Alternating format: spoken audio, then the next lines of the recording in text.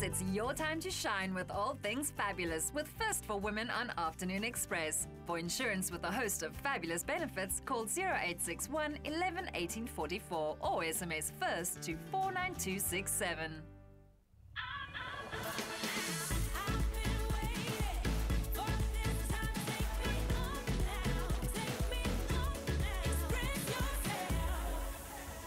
There is a woman in our studio and in our loft with probably one of the most sensational voices you've ever seen. Danilo's there too.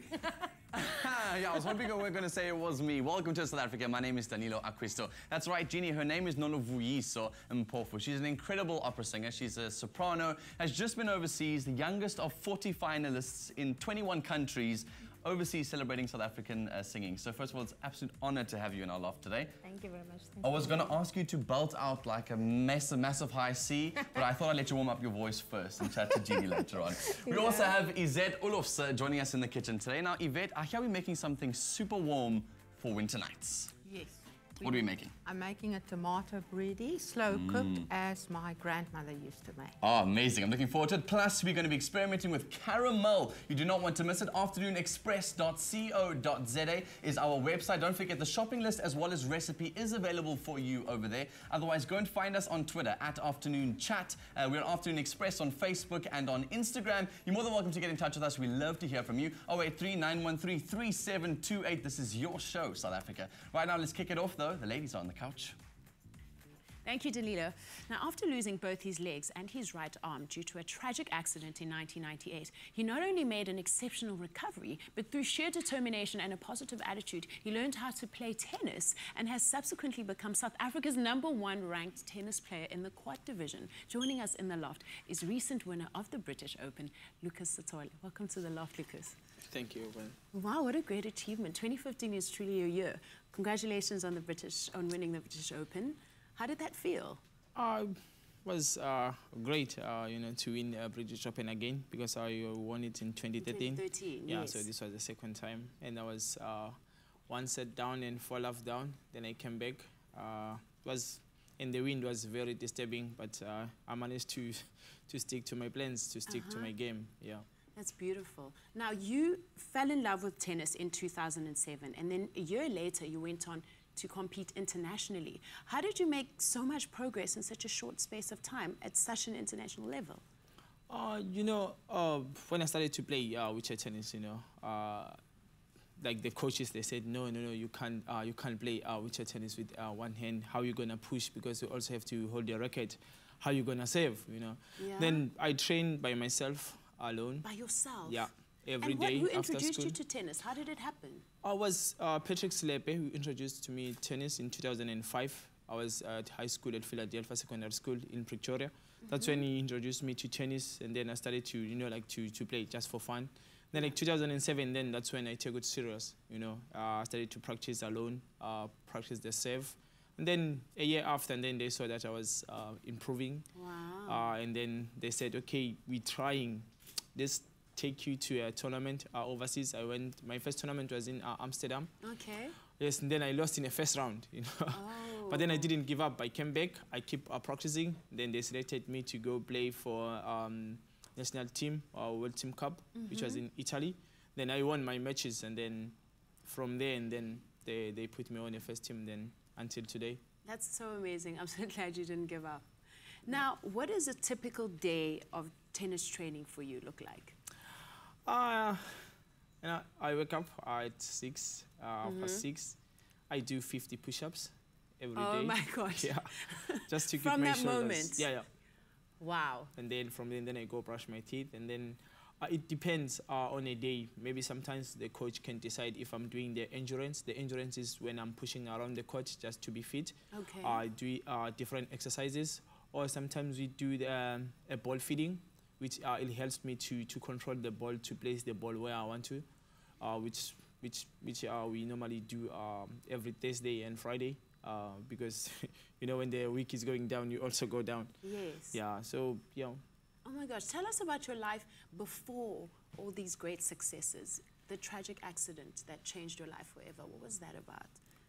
Um, before my accident, I was a, a soccer player at school. Okay. I was very tall I was gonna be a Bafana Bafana defender, Yeah. uh, and then God said, no, no, no, no, no. He This boy no, needs to, plan. yeah. He, so then he gave me his plan. I accepted it. How did the accident happen? Uh, it was the 25th of July. It was in the morning. Uh, the the guy was driving the, the train. Uh, he called me to, to help him to change the railway line. Okay. Then I went in and changed the railway line, and then the train was moving slowly. Then I tried to get on on the train. Then I fell underneath the train. Oh my gosh. And that moment when you were lying in hospital and they were telling you that you have three amputations, what did that feel like? Uh, at first, you know, I tried to to move out of the belt. Yeah. Uh, and then uh, I found out that I don't have uh, legs and then the arm. And then I was just lying there, didn't know what to do, didn't know what to say. You know, my family, they, my mother, especially my mother, she's a strong woman. You know, Wow. uh, I'm so happy to have a mother like that one. You Yeah. know, and my little sister Pindile, she was very young when I was there. She was helping me. You know, but there was nothing I could do except You uh, just had to accepting. accept it yeah. and move on. And then because immediately when that accident happened, my mother went to look for a school for me because I was uh, at school by that time and it was going to for a, an exams. So she ran around and she finally got me a school which was also a Bombisizo special school for Yeah. physical disabled uh, kids. Then I went there and then when I get there and then that's when my mind started to, you know, to open up because I To saw other kids. possibilities, Yes, I saw other kids who were living with a uh, disability. Yeah, they were like yeah. playing around, moving around, and then I was like, why do I have to feel sorry for myself, when the other kid is doing Yeah. this? And then I started to say, "Ah, you know what? Let me just live my life. Let me just enjoy whatever it comes. Let me just go with the flow. Wow, thank goodness for strong mothers, hey? yeah. What about your road to recovery? Weren't there times when you wanted to give up? And what kept you going in those moments? you know, I never thought of uh, give up. Never. Never. Uh, I always like to, to try than to fail to try. I always like the challenges. Yes. Since after my accident, my mother took me to a boarding school. I was all alone, I was independent. Even I moved from Newcastle to Philadelphia, Pretoria. It's like five hours drive Yeah. away from home. You were like, no I was, matter what. yeah, yeah. I was, I was doing my washing. I'm sure everyone's go like, huh? yeah, I was doing my washing. Yeah, Yeah, by yeah. myself. I didn't have a girlfriend by that time. Do you have one now? now I'm married. So oh, congratulations. That's Thank you. So by that time, I, I never thought of uh, give upping. Even when I went to Philadelphia, there were like senior students who were still playing basketball. I was a little boy, but then I went on a court with them. Now, not only are you South Africa's number one tennis court player, but you have released a CD with uh, uh, people from your community. Yes, yes. And you sing as well. I'm trying to sing. Trying to- but you have a CD out now. What's it called? Um, it's called uh, Lucas Tole. Uh, the title is as in Tabeni. I released it uh, last year with my cousins and my one younger brother. Yeah. That is so amazing. You are truly, truly inspiring. Thank you for sharing your story with us. But you're not going away. We're going to need you later on. okay. Awesome. Lucas will be back in the loft a little bit later on. And just a reminder to get out and get your 50 Rand off South Africa's number one foundation just by purchasing Revlon Color Stay Foundation now at any leading retail and pharmacy stores nationwide. While stocks last, take a selfie with the product and you and your plus one, your bestie or your lover, could win a 24 hour experience in Bonang's life. Hanging here on set, enjoying the city life by dining at one of her favorite restaurants, staying at her favorite hotel, and turning love on, whether you're in love or looking for love. So just take a pic of you and your Revlon Color Stay Foundation, like these viewers have already done, and tweet us at Afternoon Chat, hashtag Foundation Fridays, hashtag Love is On, or post it on our Facebook page, Afternoon Express. This amazing prize, valued at 25,000 Rand, includes an all expenses paid trip to Cape Town for two, dinner at an A list restaurant, plus a 10,000 Rand shopping spree. So get tweeting now. Don't forget the hashtags. Hashtag Foundation Fridays, hashtag Love is On. After the break, Danilo makes a traditional tomato bredie, and we chat to opera singer Vuvu. Don't go away.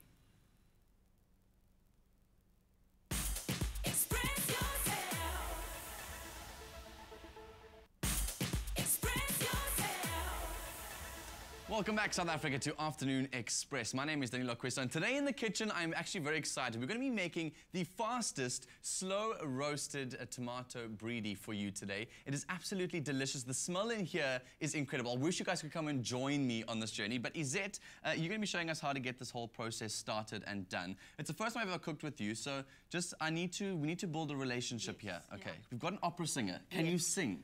No. No, you can just cook. can cook. Okay, but she needs to practice because later on we, you and I are going to do a bit of a sing so to throw Okay. forward to the other side. Okay, so how do we make this very quick, slow roasted tomato brie? Okay, so you start off with very good quality beef stew, Mm-hmm. it cut into pieces, then you sear it off in the pot with Okay. olive oil so it's nice and golden brown. So it's also sealed to keep your juices in so it's lovely and succulent. So you've used is that is that roasting beef? What what, That's beef stew. beef stew? Yeah. Okay, and can you use any any type of beef or is that the recommended That- only version? Yeah, that is the recommended, but Okay. then in there is chuck, brisket, blade. Okay, amazing. Yeah. Awesome. And then what happens? So now we saute the onions. It's two red onions chopped in the mm-hmm. olive oil. Mm.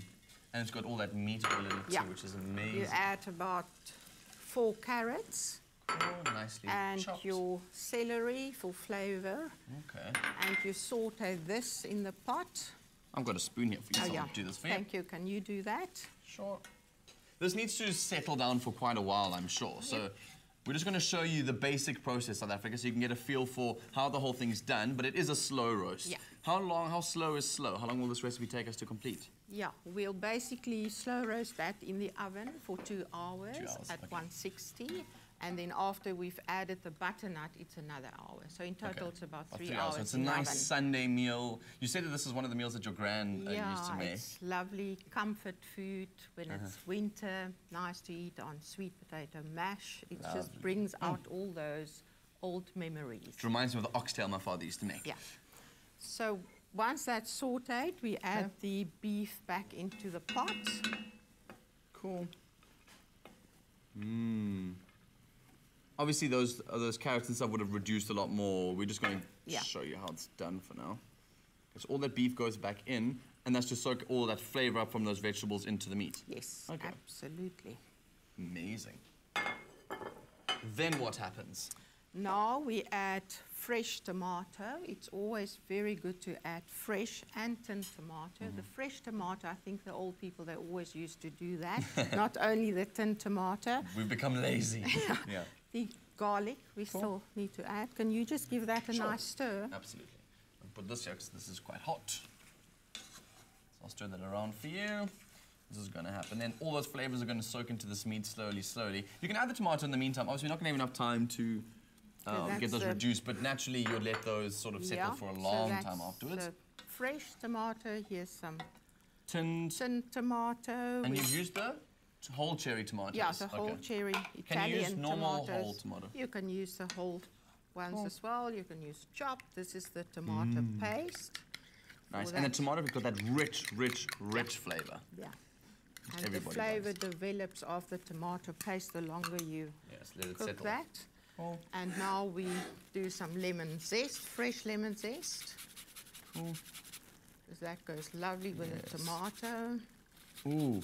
It's almost like that, uh, the, the real tomato, what you call it, the, the acidity of that tomato and that lemon zest all come together quite nicely there. Mm. Mix that up a bit. And then this is basically going to be sealed and put in the oven. Yeah. Before that, we Yeah. need to add the red wine. So it's about two cups. And one cup to drink, obviously. So for this, you must just always make sure your all your meat is covered in the liquid. So you can push that down. That's yeah. a nice so technique like to learn. That. Cool. And don't forget, South Africa, if you want the full recipe and all the details on the portions, numbers, etc., don't forget afternoonexpress.co.za. It is all available for you over there. It is so simple, and that website looks incredible. So all of these uh, recipes that we do create here, do go there immediately. Cool. Put now what do we seal that? Yeah. Put I- the lid back on, back into the oven for about two hours. Amazing. I'm going to show you guys exactly what we've made because you've done one here and it smells incredible. So I have to show you. It's quite hot, so I'm going to put that there. This is at the end of time is what it should look like. I Don't know if you guys can see in there, But that's basically what your, your stew should look like at the end of the time. And then nicely to serve this, as you said, is a bed of almost sweet potato mash. Yes, sweet potato mash. You can do other mash, but I just found the sweet potato. It's a lovely, rich flavor with this. You can make it with fresh ginger. Then it tastes even better with your lemon from the tomato bredie. Awesome. And you serve it with freshly torn basil. Lovely. Is it? It's been legendary cooking with you. Thank you very much for joining us on Thank you. Afternoon Express. We're now going to be joining Jeannie on the couch for a bit of ah. Danilo, I love you, but your singing gives me anxiety. now, today, First for Women Insurance is continuing the first SA Woman series, where we celebrate amazing South African women. We have with us up and coming opera star Noluvuyiso Mpofu, a final year postgrad performance student at the UCT College of Music. Now, Vuvu was the youngest of 40 finalists from 21 countries who took part in the, in the prestigious International Operalia competition in London recently, judged by a 14 strong international jury representing opera houses from all over the world and led by the renowned Placido Domingo. And she went to, on to will earn third place overall. On behalf of First for Women Insurance, please have a look at this sensational voice.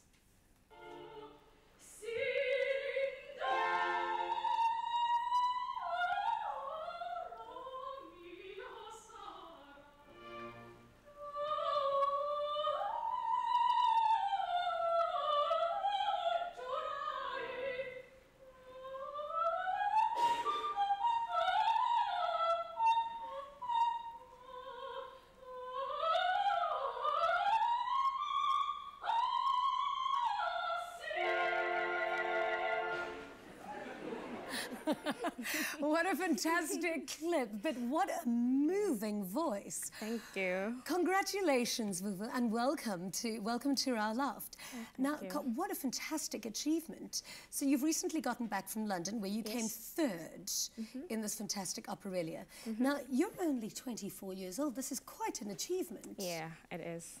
It is. I mean, how difficult is it to be recognised internationally in this field? Um, there, there are a lot of uh, singers, good ones, and uh, it takes uh, dedication, um, yeah, the, the personality, what you bring on stage. Um, it's, it's, it's, it's, it's tough out there, but uh, you, you, what, what, what else you can do? You have to just go there and just prove to people that you can do it. Um, you're there. Yeah. How old were you when you first started working on your pipes, so to speak? Sure. I was five. I started singing at five. Uh, stay, uh, sang it in church, and then I went on to singing uh, in choirs, like um, uh, uh, high school as well. Yeah. So, and then that's where I, I, I, I discovered opera. Amazing. And why, what was it about opera that spoke to you? I mean, I think a lot of young girls, when you when you realize that you can sing and you have that talent, like in my mind, I was like, oh, I'm going to be the next Christina Aguilera. I never quite thought that okay, I could be the next Luciano Pavarotti. But I mean, so what was that about opera that that spoke to you? Uh, for me, uh, it was I was in a competition, in a choral competition, and they had the opera category. And then there was this girl singing, and then I was like, okay, she's singing in a different language, and the, she was wearing a costume, and I, I was like, okay, I fell in love immediately. Uh, uh, I was like, okay, that is what I want to do. And then the next year, I sang. I started singing opera. Yeah. And now you obviously sing in Italian. How much of the language do you understand? Um, um, at UCT, we, we, we, we, uh, they teach us uh, the basics uh, of Italian, German, French. So um, you have to learn those languages in order uh, for you to understand what you're singing about. Yeah. Fantastic. Now, back to your operalia. Th- I mean, you were chosen by an international panel led by Placido Domingo, who Yes. obviously decided, I mean, this young lady is incredible. What was that like to be in such good company? Uh, it was amazing. Like the, the first time I, I met him, uh, he came to me and he was like, uh, I thought I was going to say see you in Madrid because we were doing a, um, a, an opera in Madrid. Uh, so I was like, oh, oh, okay. I'm sorry you missed me, but I was I was getting ready for Operalia, of course, and uh, I just stopped myself from being starstruck. I was I was I was very excited. He's such an, an amazing person. He's very humble, and I, I was just I was just blessed to be in the competition as it is. Mm. What does this mean for your career?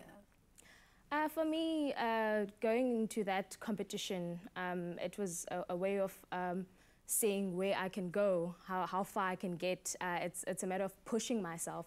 So um, the third prize that I won was actually something that says, okay, you did it, so you can actually do more, like um, uh, um, put yourself in, in, in, a, in, in other heights in the, in, internationally. Exactly. So, yeah.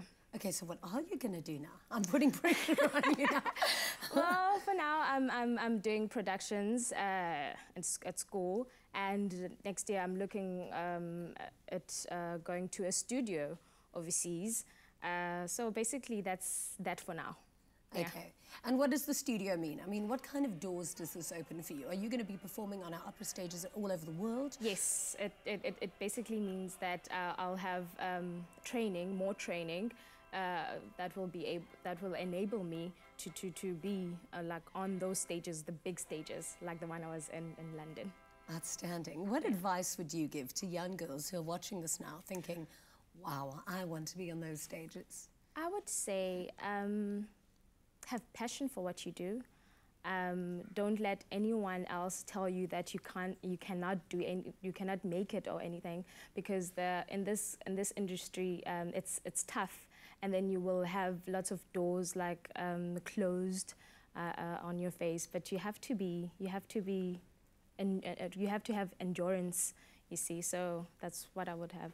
What kind of thing do you think gives you your endurance? Because I mean, it's quite a difficult thing. You've got to hone, you've got to look after your voice as if it's your instrument. Mm-hmm. Yeah, that's so how true. do you? I mean, do you have to watch your diet? Do you have to watch what you drink? What goes into keeping you being the best in the world? Yes, um, you have to watch what you eat, what you drink, um, and also you have to practice.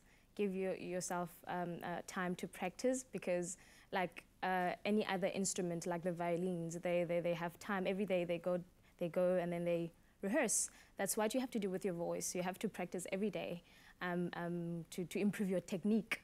Exactly. Yeah, yeah. So that's that's it. Oh, it's tough work to be the best in the world, but congratulations to you you. what a much. Thank fantastic, you. fantastic prize to win. Thank you. And may I wish you the best in your Thank you career and going much. forward. That's Thank you. wonderful. Now, Vuvu, we absolutely suit you, and so does First for Women. Now, in, if you enjoy watching performers like Vuvu, First for Women's Entertainment Assist benefit will be of great value to you. Now, not only will you have access to the latest entertainment event information, but you will also receive assistance with hotel accommodation, bookings, restaurant, and general travel arrangements. For more information on the benefits you receive when you take out a car or home policy from First for Women, visit uh, firstforwomen.co.za or for an insurance quote for, uh, from First for Women, call 0861 11 18 44 or SMS FIRST to 49267 and they'll call you back. After the break, we discuss life after tragedy and it's our weekly Go Green Sustainability series. We'll be right back.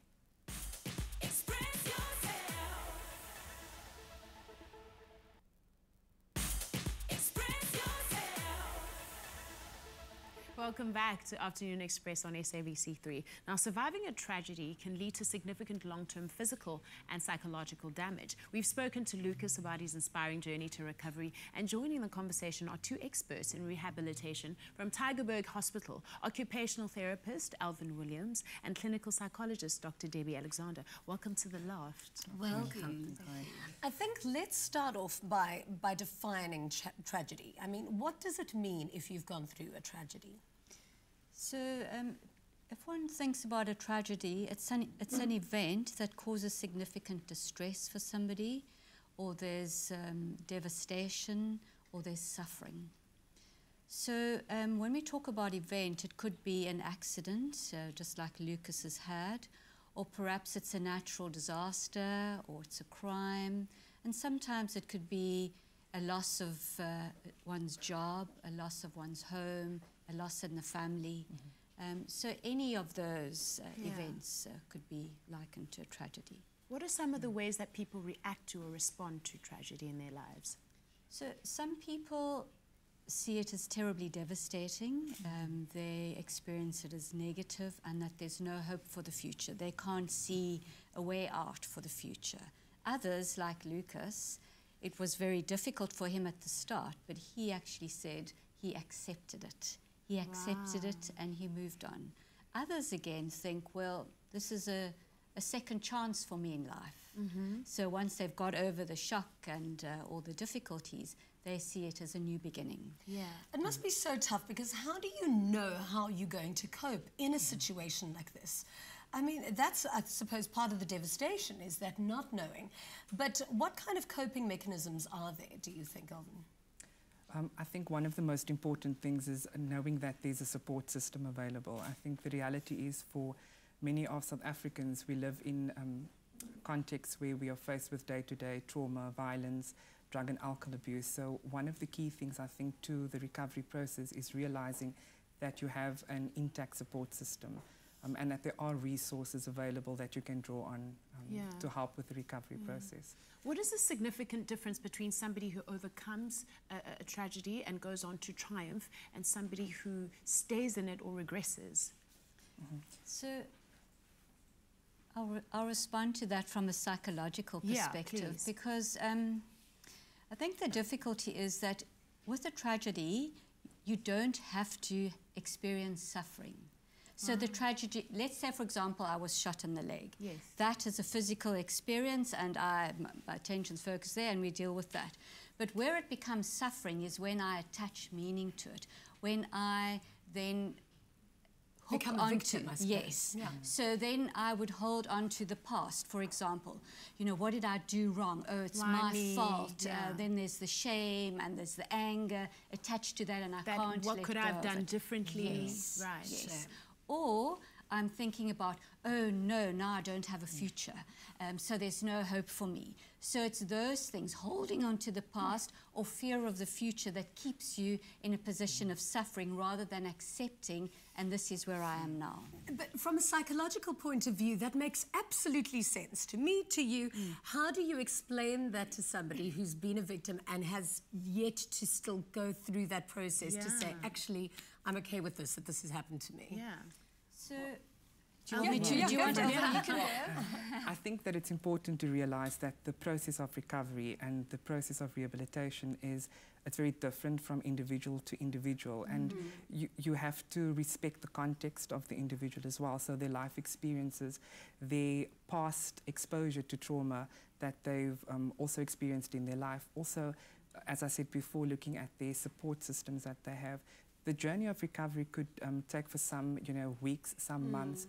Some could never actually re- recover from and integrate that into their lives. Unfortunately, yeah. yeah. You go first. But then, how can we, as as f- f- friends or, or, or people in that environment, how can we be of support to people that have gone through a trauma in that case? Because what happens if somebody doesn't ever get through it? I mean, how can I be somebody who, who can support that and, and just be there?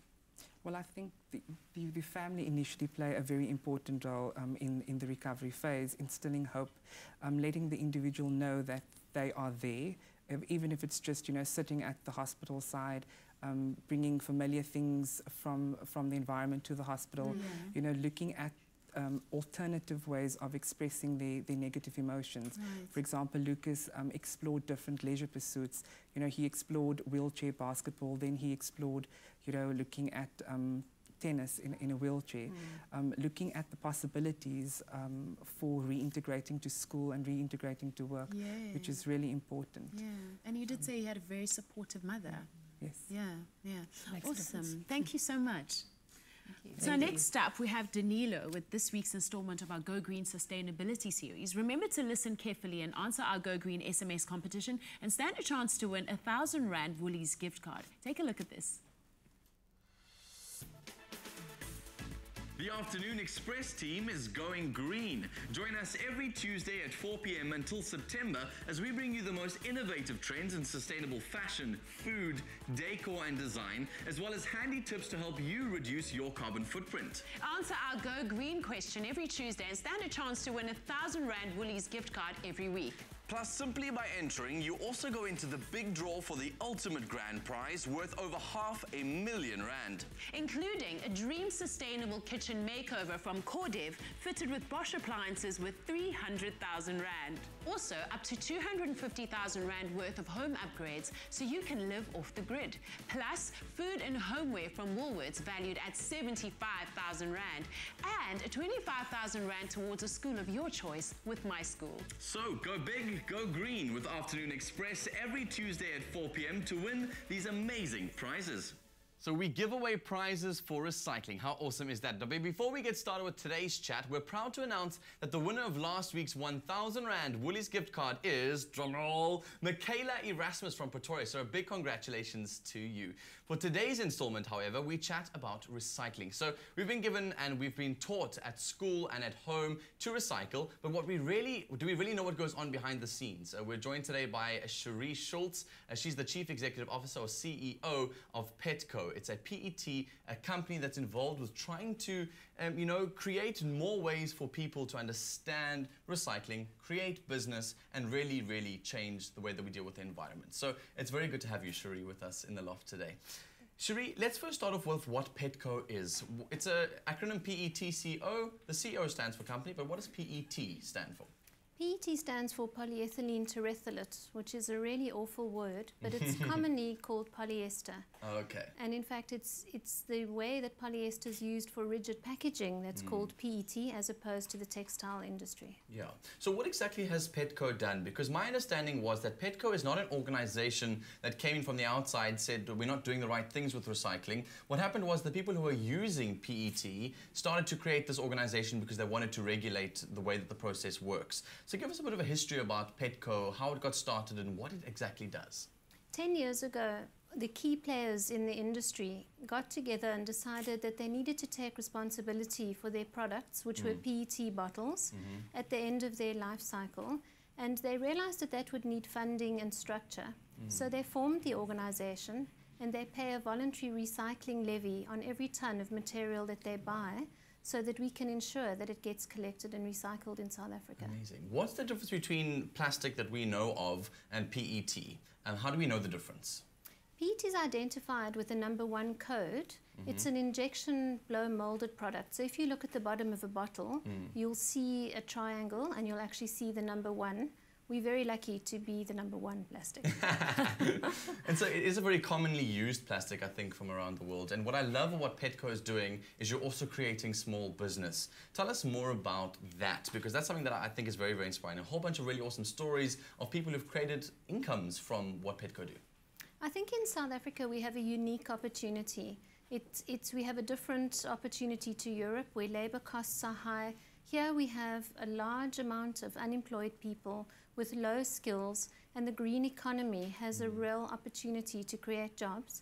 So we have about 44,000 people in South Africa today who earn a living from collecting PET. Wow. So the small businesses are created and new businesses created, which I love the most. What kind of numbers are we talking about? How much PET is recycled on a yearly basis in South Africa? This year we're aiming to recycle 70,000 tons. Last year we did 64,000. but In a year? In a year. Wow. But to put that in perspective for you, that's four and a half million bottles every single day. Sure. That is a big number. What is the process of going through this recycling? Because I know Petco doesn't do the recycling themselves, but they create the connections uh, necessary in order to make this process efficient and to make sure that we are recycling the maximum number of PET that we can. How is an item, how does it get from me or somebody leaving it in a bin to getting it into a brand new product? It all starts with us deciding that we are going to meet a target. And this year we're aiming for 50% of all post consumer used bottles. Wow. And by 2022, 70%. So when we know how many we have to collect, hmm. we enter into contracts with recyclers and we fund them. So every single kilogram of PET that's collected in the country receives financial support from us. And then those recyclers have a product that they make, mm. either for the textile industry or back to go into packaging. Sure. We've got some of these here. So take us mm. through uh, what are some of these products. We've seen them all around our houses. We've seen them at the malls, at the shops. But did we ever know that this was as a product of what PET is about? I think that's key, that mm. people go to so much effort to recycle and they don't understand what happens to all their good efforts. And this is a great opportunity. These are all made from fiber. And at the bottom, we have actually a very sophisticated geotextile, which is an industrial textile. And it's mm-hmm. used for the linings of the Gautrain tunnel, for example, wow. the lining of dams, roads. It's a very sophisticated material. Mm. This is a new product that was actually developed here in Cape Town for the mm-hmm. retail sector, and it's a reusable bag. Sure. The one on the on the side is actually carpeting, which is used in the automotive mm-hmm. industry for fuse box liners, mm. carpeting. So all the applications where you would use virgin polyester, Yes. we can use recycled. And then perhaps the nicest one we have here today, this is a legacy project mm. that we did to celebrate our 10 year anniversary. Mm-hmm. And this duvet is filled with polyester fiber. I have some over here. This Okay, is so actually what it looks like. It's the Can filling. I feel it? Absolutely. And then the fabric on the outside is also made from that fiber, but that fiber is taken and it's spun into a yarn, hmm. and then the yarn is knitted into a fabric. So nice So- and soft. This is very, very nice and warm. Well, you probably sleep on a pillow at home that's filled with that. I wouldn't be surprised. So there is something that we as South Africans can do, and I think that's to make sure that we are focusing on our recycling. It's to make sure that we are putting it in the right place. That if you do have plastics, they don't go to landfills. We want to make sure that we do not have that process even part of our understanding. Make sure that you are collecting all your plastics, putting them together, and finding a spot that is a dedicated collection point because you are contributing to small business as well, which I love. So Cheri, thank you so much for joining us on Afternoon Express. Thank you. It's such an honor. So if you guys want more information on how you can recycle PET, then all you have to do is visit our website, afternoonexpress.co.za, and remember to enter our Go Green SMS competition. Now, this week's question is, PET is commonly used for the production of, is it A, plastic bottles, B, pasta, C, plasters. SMS the keyword go green, your name and your answer A, B or C to double three seven two eight. It's as simple as that. We'll be right back. Express yourself. Woolies and I collaborating to raise 100 million rand through the My School program. Are you with us?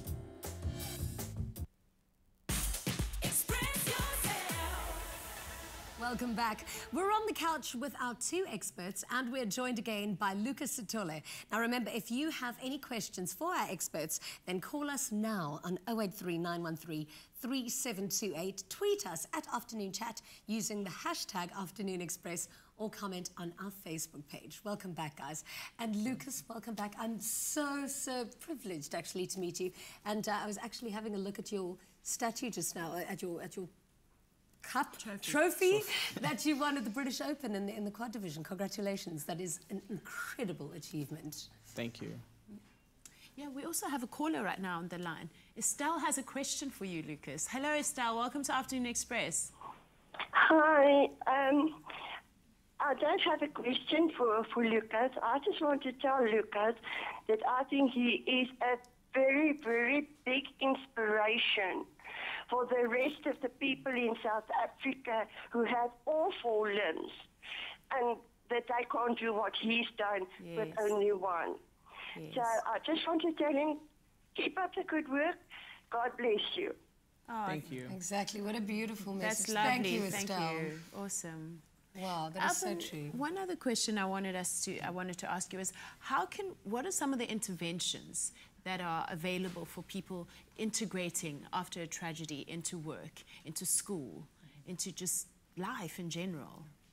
So one of the, the key things that um, we can assist with as, an, as occupational therapists is providing assistive devices and technologies that will enable, you know, people to reintegrate into roles that they find meaningful again. So for example, in Lucas's case, providing a wheelchair, proper seating device, looking at prosthetic devices that will enable functionality at school, at work.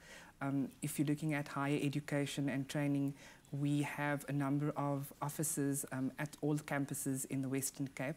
um, and I'm sure in other provinces as well at the universities where we have offices for persons with disability that provide um, not only academic support but also support in terms of academic counselling and advice. If we're looking specifically around work, occupational therapists are able to provide a comprehensive work assessment to determine what um, abilities individuals have um, and, and which area of, of work they are able to Yeah, integrate um, back into. So there is some kind of quality of life Absolutely. post, uh, Ab- you know, disability Yeah, or, absolutely. or, or I mean, trauma. Lucas is living testimony of that. Yeah, exactly. Let's go to Facebook. We've got a piece, uh, a Facebook comment from Peter Johnson. It says, I sought medical advice and was put in touch with a psychologist who actually helped me to gain perspective on life and how I could cope with life after a car accident I was involved in during my national service years. And uh, there is nothing wrong in going to a psychologist for help and assisting one to gain control of your life. I think that's so important. Actually, for, for a lot of people, sometimes they see it as a weakness if they have to go for Mm. help. But but it actually isn't. It's it's strength of, of character to say, listen, I need help and I need to get control again. I think uh, if one does that, that's half the battle won. It's the, right. the ones that don't seek help that really do struggle. And uh, I think particularly if one's had a head injury, it really is difficult because sometimes with a head injury, their personality changes and one doesn't realize that oneself and uh, behavior might change. The person may be aggressive. They struggle to um, manage in, at home. The family doesn't know what to do with them. They struggle to integrate at school or work. Mm. So it's very, very um, important. Important. that they seek help because Yes. um, sometimes they, they're very apathetic. So they will be lying around on the couch at home and then the family will say the person is lazy, but it's because of the head injury that they have such apathy. Oh, Um, uh, and the mood changes because it's because of the head injury and the, the family actually don't understand that. So if they seek help, they will on, not only be able to help the person that's um, experiencing the But the problems, but also trying to support the That's person. correct. And they're not the only person who needs the help. Maybe, you know, a mother or, or, or all the cl- people Yeah. very close to the person who's experienced the tragedy also might need to seek some help in dealing with it. So we work with the individual, uh, with the family, and then sometimes it's important for us to go to the schools uh, and to the workplace so that we can educate people around what the difficulties Yeah, are. we're going to get back. We're going to chat to this a little bit later. But first, let's check in with Danilo, who's in the kitchen, and he's about to make us a delicious sweet treat. Indeed, a couple of years ago, the big fad was salted caramel, and it continued to grow in the culinary industry, and it's grown all the way to our loft right here today. So joining us in the kitchen, Lisa Clark is going to be showing us how to make the most perfect salted caramel sauce. So Lisa, first of all, welcome to our loft. It's absolutely awesome to have you here. I like sweet things, and adding a bit of salt means you're adding a bit of flavor and twist to it, which I dig so much. So, how do we go about making salted caramel? It's a very simple recipe. It literally contains four ingredients, which is butter, salt, and cream, mm. and sugar, obviously. So firstly, what we do is we melt the sugar. We'll melt the butter first. Melt the butter, sorry. Melt the butter, Add the sugar. right. I, I got Add what the you were saying. Can you hold that for me Sure. there? So are you today are using the Selati Demerara? Right. It's basically really cool unrefined brown sugar. It's been added to a little bit of treacle syrup and it adds a really awesome caramel flavor to any of your culinary dishes that you're making, whether it be a bake or anything that you're using in the kitchen. So I, I think this is the I'm perfect for you. combination. How much should I put? All of it. All of it? All go in, yep. Oh yeah, the more sugar the So better. once you've added your sugar, Yes. you allow that to melt down. Cool. You've melted one for us already, I I, see. So we can move that to one side, and once that is melted, it will look Something like this. like that. And then what we do is we add our cream, Cool. Can which I is bring it to you? there, please. Which one's the cream? That one there in the middle. This thing. Oh, this is cream. Thanks. Suppose it's the only one that's Okay. not brown. and then just stirring all the time, you slowly incorporate it into your sugar syrup, Okay. like that. It mix in nicely. What is the purpose of adding in the cream? It just It soften just- it a bit. It enriches it, it gives it flavour, Okay. and also it gives it a good mouthfeel. Nice. And once that's all come together, you can add Mm. your salt. Salt. You can put a teaspoon in there for me if you don't mind. Heaped teaspoon, normal size teaspoon. Let's do a flat teaspoon. Like a flat teaspoon, like this. We can taste it afterwards. Is that okay? That's perfect. Off you go. Cool. Add some salt. There we go. Mm. And allow that to Now, what can we use salted caramel for, by the way? I'm actually quite intrigued. This I know it's for sauce is actually quite versatile. We can use it for all, dis- all different types of things. Okay. Um, you Let's can use it. for you. Thank you. You can use it on savoury. You can use it on sweet. Will you, show can- me? Sure, 'Cause I absolutely. just- yeah, I feel All like right. I would like to Well, it's see. very simple. I mean, what we do for the pork chops is we would just brush it over once they've been cooked and glazed. And what you could also do is put it back into the pan Mm. and continue to glaze it. Oof. So it slightly caramelizes. And then it'll go that like really golden, crispy flavor on the outside as the sugar. caramelizes. Absolutely, as it caramelizes. Mm. And then for chocolate brownies, we could literally take the sauce And just pour it all pour over. it over. Oh, that looks There so we good. go. I know everybody in this loft is drooling at this. And I'm sure South Africa is too. Lisa, that looks incredible. Thank you. Salted caramel, the new fad. I really dig it so much. Well, South Africa, there you go. It's pretty easy to make. Salted caramel right here on Afternoon Express. It's a really awesome sauce. So, Lisa, thank you so much. Thank you. See you after the break. Blended with treacle syrup, Selati Demerara makes delicious honeycomb, cookies, crumbles, brine marinades, and sweet potatoes. Selati, always good, always sweet.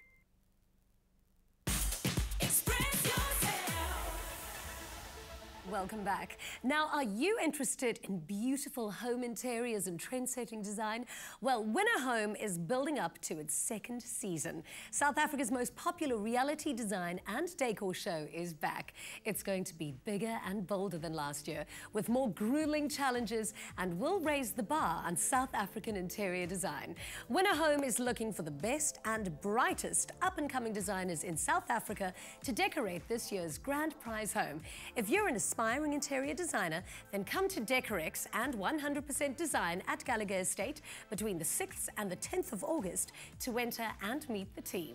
The first 100 entrants per day who arrive with a completed entry form will be given free entrance. So go to privateproperty.co.za forward slash winner home to get the entry form. And remember, bring it filled out to get your free ticket to the expo. Or if you're not able to make it to Gallagher Estate, then you simply enter online. But whatever you do, do it soon because entries close on the 10th of August. How exciting! You can win a home! Yes. I'm gonna dish up What's if you guys don't mind. is food. Yes. Stuff looks amazing. So the brownies look amazing. I don't know if Oh, anybody. I'm gonna pass them amazing. Who wants dessert first? them. You were very eager for dessert first. I know. Oh, wow. Oh, delicious. Are you gonna try one? You know, this is That's so against uh, yummy. my. Uh, Do you Eating plan. Yeah, do you if have my to coach- watch your diet? If my coach was here, then I would be in trouble. But because he's not watching, eat? so it's fine. he's not looking. How do you know he's not watching? I know. He's training someone at Yeah, the he's training KG and events. So it's fine. Well, thank you so much. You've been absolutely sensational guests. Hope you enjoyed your day in the loft with us. Thank you so much. Best of luck with your career. Best of Thank luck with all of you, you know, continuing to inspire again. people all over the country. yeah. Thank you so much. Thank you for joining us. And uh, we'll be back again tomorrow, same time, same place. Good night and happy, eating. Ah, I'm definitely going. Coming up tomorrow on Afternoon Express, one of South Africa's hottest entertainment couples, Emo and Michelle Adams, join us in the loft to chat about family and married life. And with the high rate of pet drowning in South Africa, we highlight the importance of teaching your dog how to swim. Another feel good production. Join us next time for more fabulous fun inspired by First for Women on Afternoon Express. For an insurance quote, call 0861 11 18 44 or SMS FIRST to 49267.